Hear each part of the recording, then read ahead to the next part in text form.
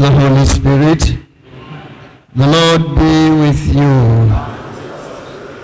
Today is Wednesday, 17th of November, and we thank God for the gift of this day, for bringing us together. The Mother Church marks the memorial of St. Elizabeth of Hungary. Today, 17th November as well, is my birthday. I was born about uh, 40 something years ago. And I really thank God on this day as I celebrate the memorial of my birth. We come before the Lord, dear brothers and sisters. We are sinners and we stand in need of mercy. To prepare ourselves, therefore, to celebrate worthily the sacred mysteries, let us call to mind our sins and ask God for pardon.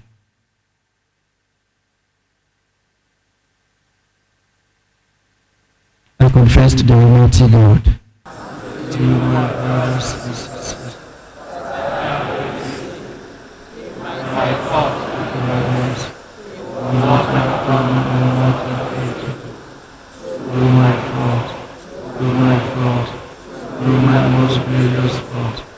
Therefore I ask the Blessed Virgin, all the angels and saints, and you, my brothers and sisters, May Almighty God have mercy on us, forgive us our sins, and bring us to life everlasting.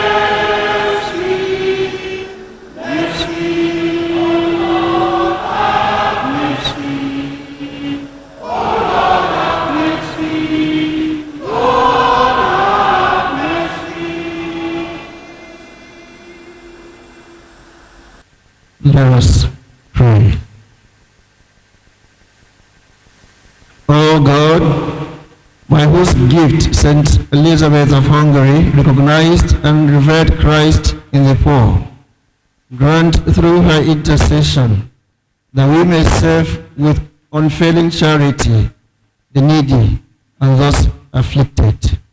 Through our Lord Jesus Christ, your Son, who lives and reigns with you in the Holy Spirit, God, forever and ever.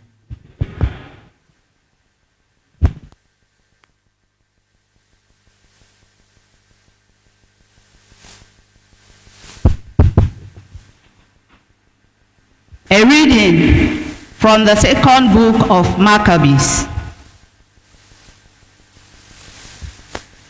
In those days, it happened also that seven brothers and their mother were arrested and were being compelled by the king under torture with whips and cords to partake of unlawful swine's flesh. The mother was especially admirable and worthy of honorable memory, though she saw her seven sons perish within a single day. She bore it with good courage because of her hope in the Lord. She encouraged each of them in the language of their fathers, filled with a noble spirit. She fired her womb's reasoning with immense courage and said to them, I do not know how you came into being in my womb. It was not I who gave you life and breath, nor I who set in order the elements within each of you. Therefore, the creator of the world, who shaped the beginning of man and advised the origin of all things, will, his, will in his mercy give life and breath back to you again. Since you now forget yourselves for the sake of his laws.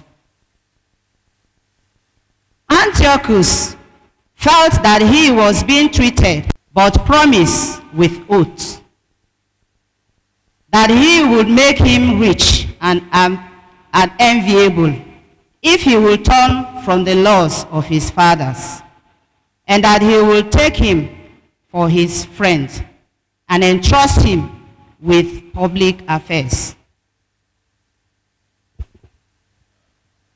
Since the young man would not listen to him at all, the king called the mother to him and urged, urged her to advise the youth to save himself.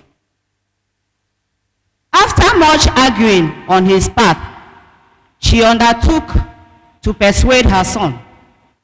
But, leaning close to him, she spoke in their native, native tongue as follows. Deriding the cruel tyrant, my son, have pity on me. I carried you nine months in my womb and nursed you for three years and have reared you and brought you up to this point in your life and have taken care of you. I beg you, my child, to look at the heaven and the earth and see everything that is in them and recognize that God did not make them out of things that existed. Thus, also mankind came into being. Do not fear this busher, but prove worthy of your brothers.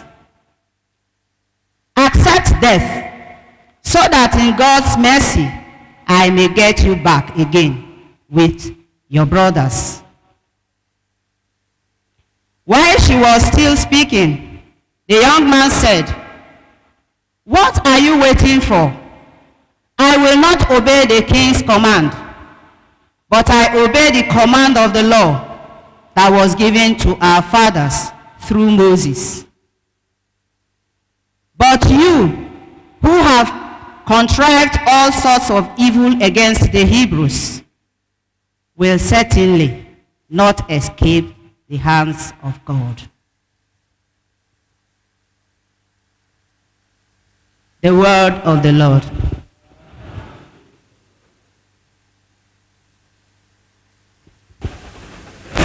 When I awake, I shall be filled with the vision of your presence.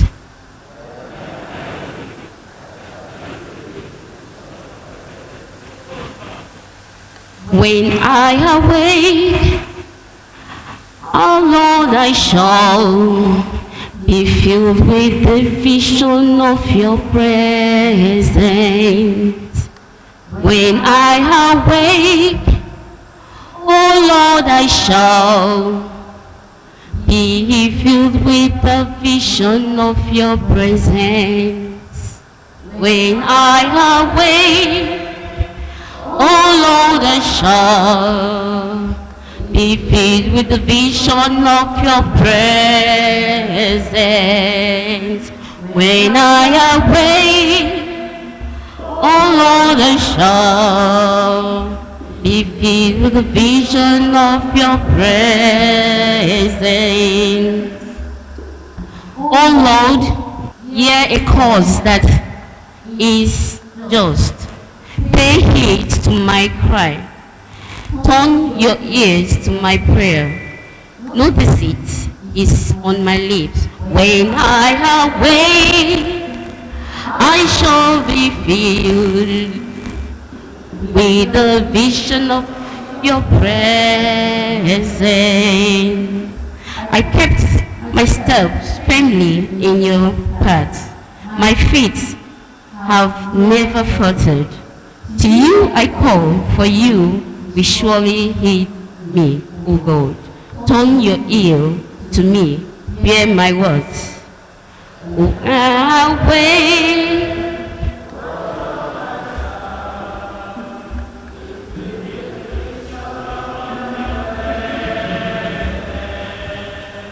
Guide me as the apple of your eye. Hide me in the shadow of your wings. As for me, in justice I shall behold your face. When I awake, I shall be filled with the vision of your presence. When I awake, oh Lord, I shall filled with the vision of your presence. When I awake, oh Lord, I shall.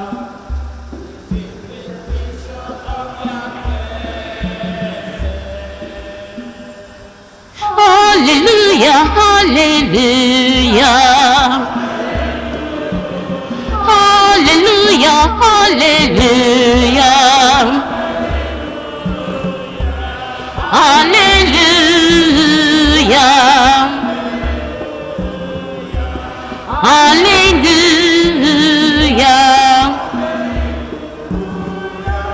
I choose you from the world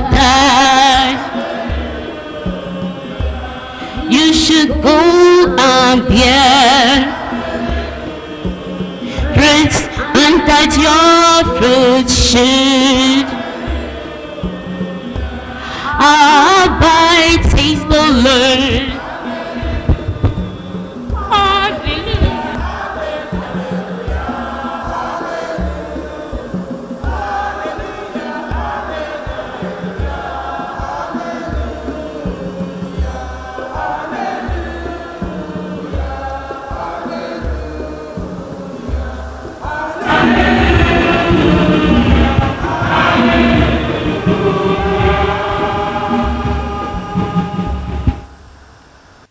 Lord be with you. A reading from the Holy Gospel according to Luke.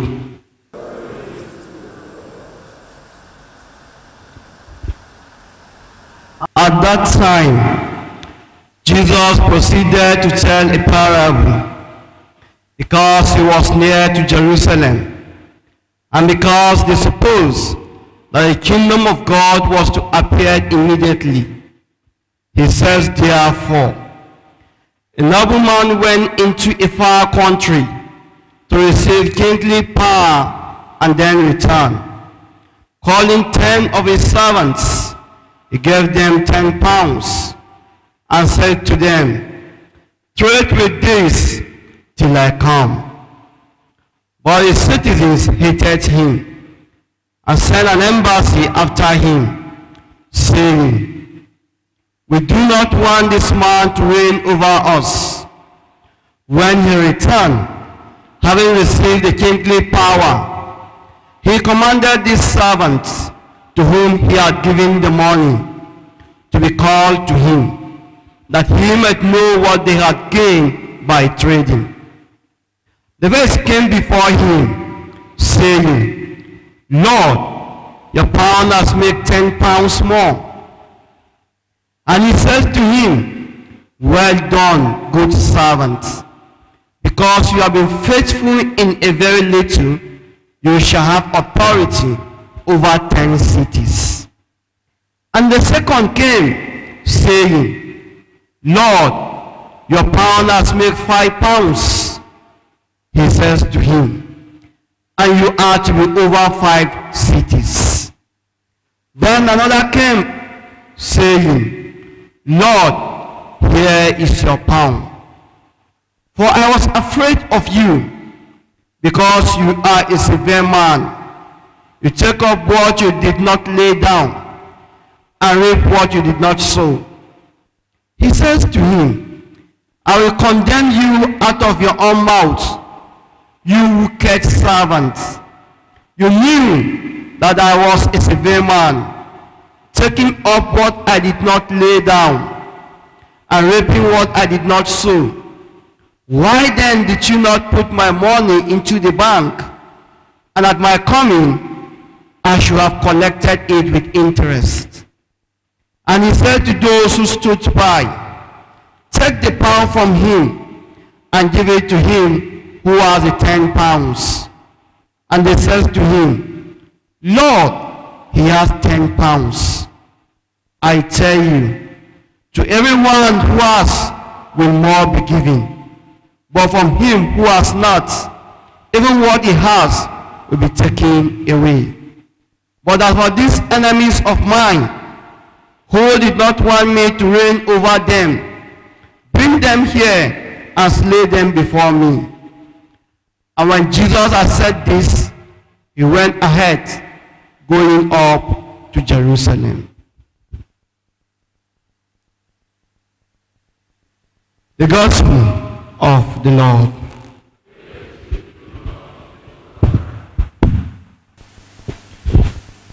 Glory to Jesus.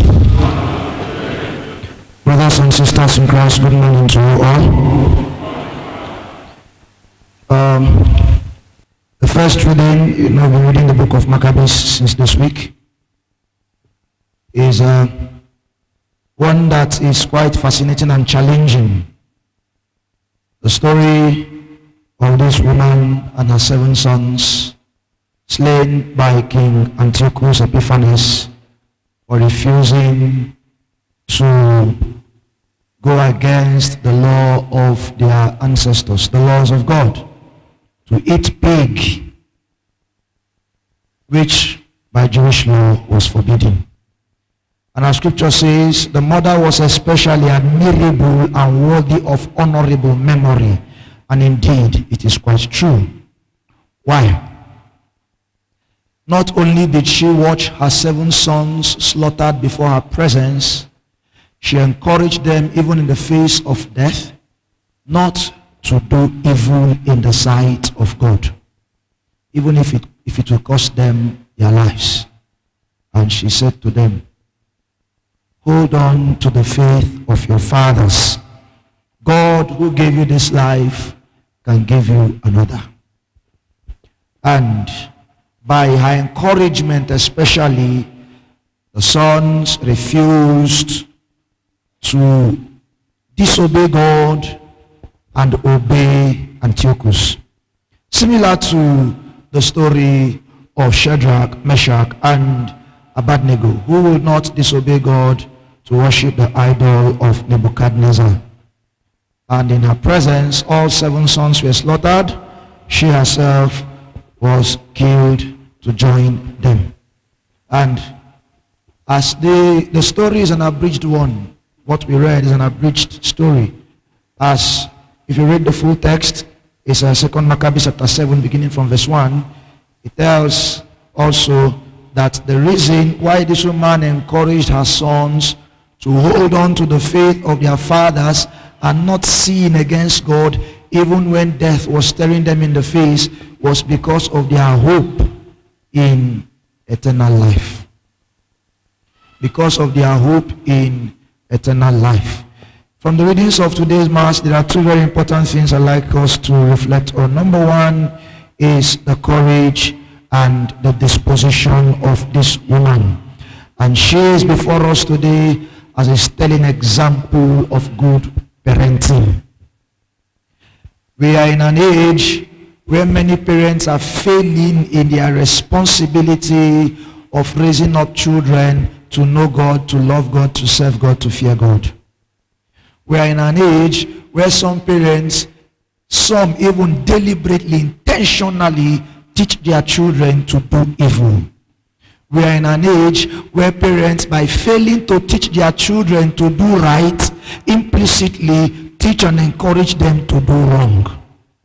And in all of this, we see a continuous increase in moral decadence. People raising children who have no fear of God, who have no love of God, who have no value for the things of God. We are more and more seeing in our society today people who will prefer the pleasures of now to the detriment of their souls that will live forever. On Sunday, my homily was titled Spiritual Stock Taking, and I did speak about the need for us to always keep our eternal reward in view. And one of the things I did say to us or at that mass I was that many of the reasons why people will miss heaven are things that are temporary and things that are temporal. We met them in this world, we will leave them in this world. We will not go anywhere with them. What were the offers the king was making to these children? I will give you riches. I will give you honor. I will place you among noble men. After that, what next? After that, what next? When they die, who will remember the riches? Who will remember the honor? Who will remember the nobility? Will the grave have regards for that? No. At the end, we are all dust and we shall return to dust. But then, as Jesus says, that we should ask ourselves very important question. What shall it profit us if we gain the whole world and lose our souls? And so, dear brothers and sisters, especially those of you who are parents, this woman in our first reading today puts a challenge to all of us in the upbringing of not only our biological children, but every young person around us, by the examples we give to them and by the things that we consciously teach them. Are we guiding them in the right path to keep the word of God, to keep the commands of God, even when the odds do not favor them? Or are we teaching them to value temporary, temporal, material gains at the risk of losing their eternity with God in heaven? And this is not only about children, it is also about us. We too should take this example from this woman. Glory to Jesus. The second thing I'd like to call our attention to for us to reflect on is um, the consciousness we need to keep before us always that at the end of our lives we shall render an account to God of what we have done with this life he gave to us. This woman was saying to her children, do not sin against God because we have hope in another life to come that God shall give to us. In the gospel reading, Jesus tells the parable of the king who gave money to his servants to do business and he went away and came back and called them to render an account to him. God has given us also our lives.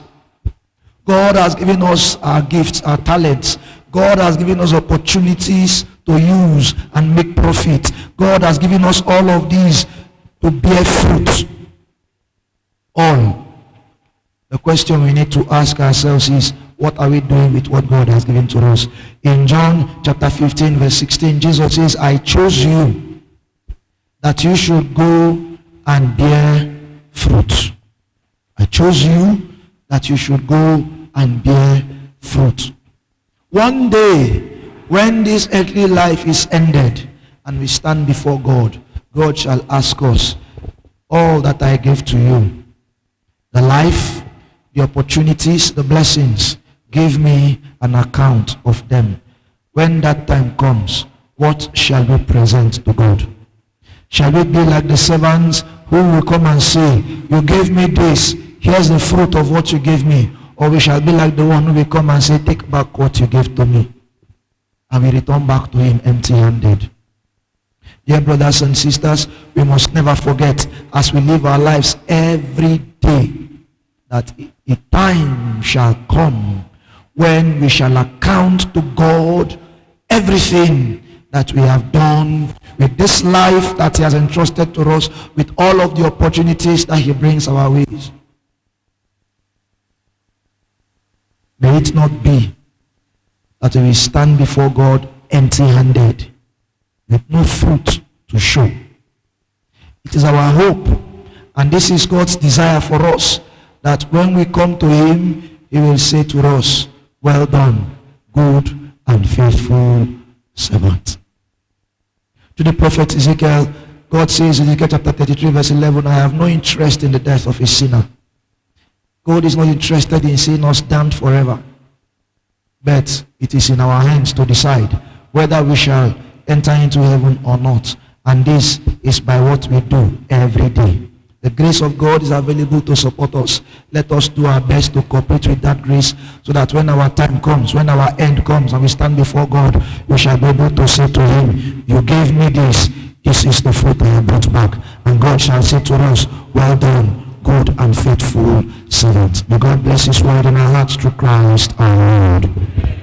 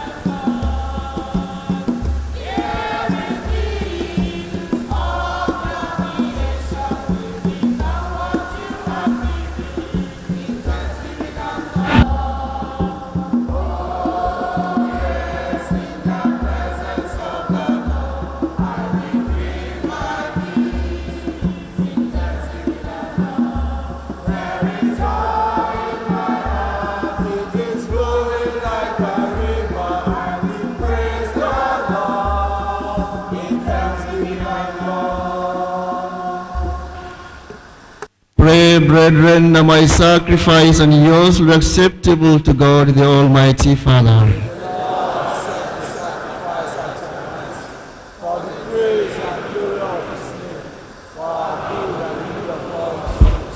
Receive, O Lord, the offerings of your people, and grant that we who celebrate your Son's work of boundless charity may, by the example of Saint Elizabeth of Hungary, be confirmed in love of you and of our neighbor, through Christ our Lord. The Lord be with you. Lift up your hearts. Let us give thanks to the Lord our God. It is truly right and just our duty in our salvation, always and everywhere to give you thanks, Lord, Holy Father, Almighty and our God. For in the saints who consecrated themselves to Christ, for the sake of the kingdom of heaven, it is right to celebrate the wonders of your providence, by which you call human nature back to its original holiness, and bring it to experience on this earth the gift you promise in the new world to come. And so with all the angels and saints, we praise you, as without end we acclaim.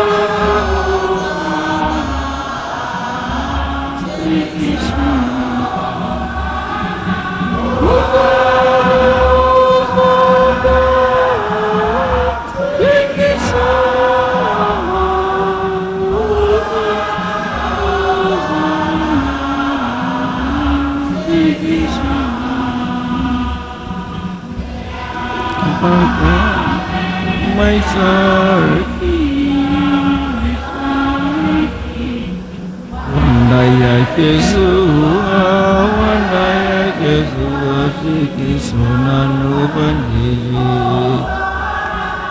Hosanna, Hosanna, sama.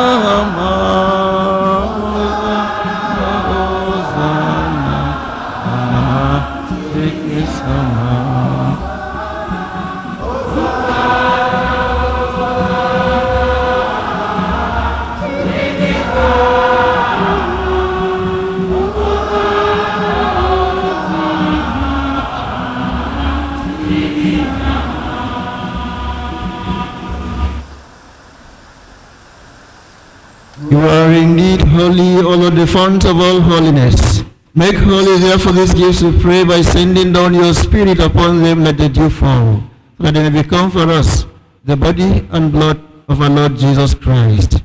At the time he was betrayed and entered willingly into his passion, he took bread and giving thanks broke it and gave it to his disciples, saying, Take this, all of you, and eat of it, for this is my body, which will be given up for you.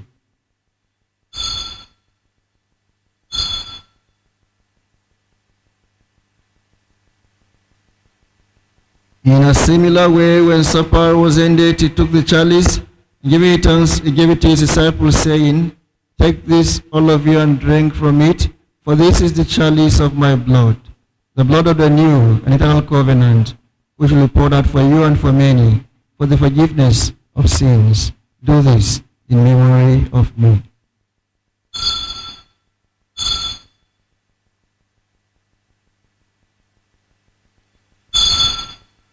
The mystery of faith, save us, Savior of the world.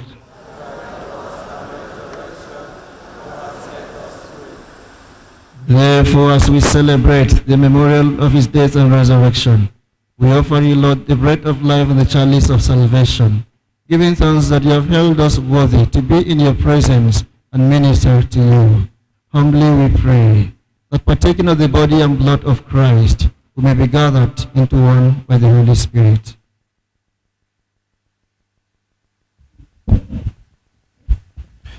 Remember, Lord, your church spread throughout the world and bring her to the fullness of charity.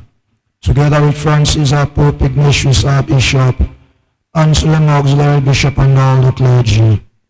Remember your servant, Augustine Emandiojo, whom you have called from this world to yourself.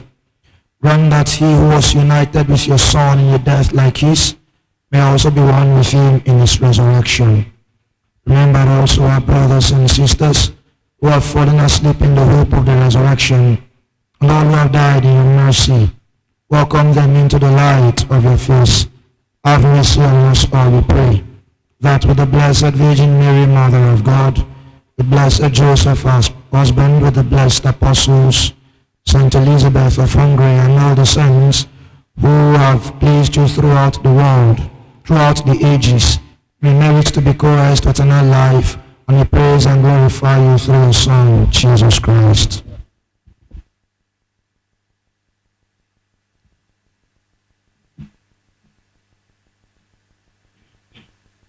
Through him, and with him, and in him. O God, Almighty Father, in the unity of the Holy Spirit, all glory and honor is yours forever and ever. At the Savior's command, and formed by divine teaching, we dare to say, Art in heaven, hallowed be your name, your kingdom come, your will be done on earth as it is in heaven. Give us this day our daily bread, and forgive us our trespasses, as we forgive those who trespass against us. And lead us not into temptation, but deliver us from evil. Deliver us, Lord, we pray, from every evil. Graciously grant peace in our days, that by the help of your mercy, we may be always free from sin and safe from all distress, as we await the blessed hope and the coming of our Savior, Jesus Christ. Lord Jesus Christ, who said to your apostles, I leave you peace, my peace I give you, look not on our sins, but on the faith of your church, and graciously grant her peace and unity in accordance with your will, who live and reign forever and ever. May the peace of the Lord be with you always. Lamb of God,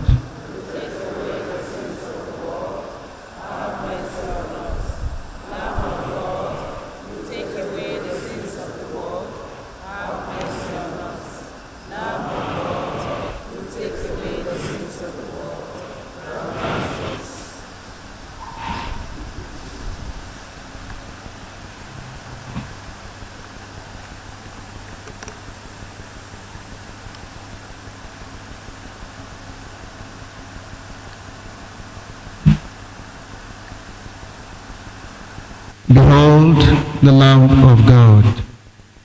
Behold him who takes away the sins of the world. Blessed are those called to the supper of the Lamb.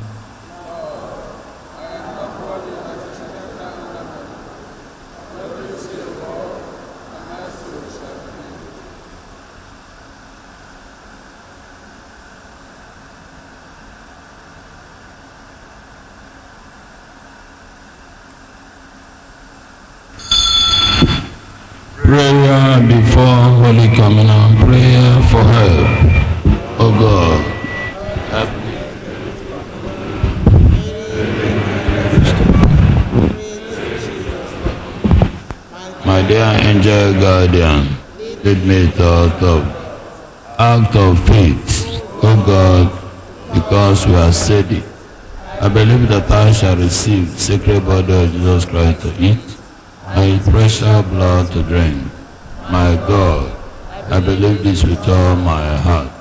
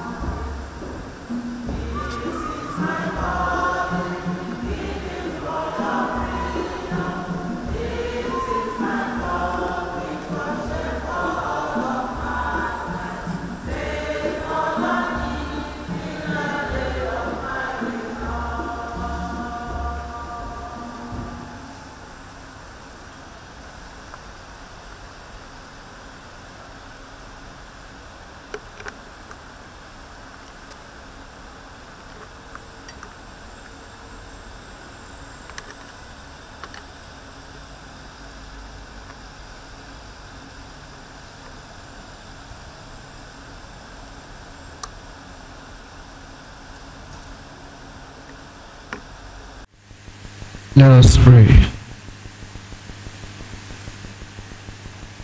Grant, we pray, O Lord, that we who are renewed by these sacred mysteries may follow the example of Saint Elizabeth of Hungary, who honored you with tireless devotion, and by suppressing charity was of service to your people, through Christ our Lord.